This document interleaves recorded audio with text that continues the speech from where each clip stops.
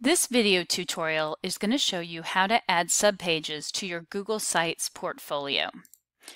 So let's go ahead to the portfolio and you can see this is our home page and you can see here at the top it's labeled as home. Whenever you want to add subpages you look at the three icons at the top. You have insert, pages, and themes and you're going to select pages. When you do you will see the home icon, your main page, and three dots to the side. Click on the three dots and what you need to do is add a subpage. We already have one called Learning Frameworks but we're going to add another one, for example, called Introduction to the Teaching Profession. That's another of the courses that a teacher might take here at STC. And when you're done, you're going to select Done. We're also going to add another class. So you select the three dots, add a subpage, and let's call it Special Populations, which is the second education course that you would take. And select Done. We'll add one more class to our list of the classes that we're taking this semester because we might want to upload all our assignments. And in this case, select the three dots, add a subpage, and we're going to add Introduction to Sociology. And select Done.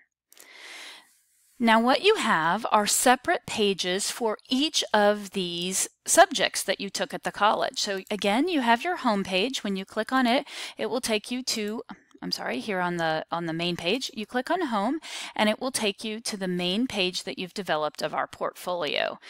Um, and all of the things will be listed. But let's say you want to upload your work from each of the courses that you've taken. So each of these is a separate page. For example, our Learning Frameworks page for our course, you're going to have information of all of our assignments, our reflective journals, and our activities for this particular course as you can see. But let's say you want to do it for all of your courses. You'll have one for your teaching class, one for your special populations, and one for your intro to SOC.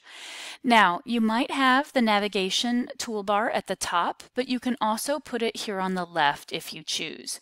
To change the positioning of that toolbar, go over here to the left to the navigation settings. It looks like a, a little um, tool, a little um, a little turntable. Click on that and you can change the navigation to side navigation. Okay, so right here we have the si side navigation. If you don't like that, you can change it back to the top navigation. Each of these is an individual page and you can add subpages even to your, um, you can add a subpage, for example, to learning frameworks if you so decide. If you want a special um, section, maybe you just want one on reflective journals because you just want to put a reflective journal work there.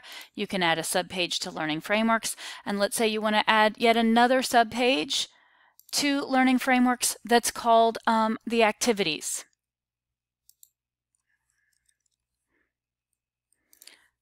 So you can have subpages of subpages in Google Sites.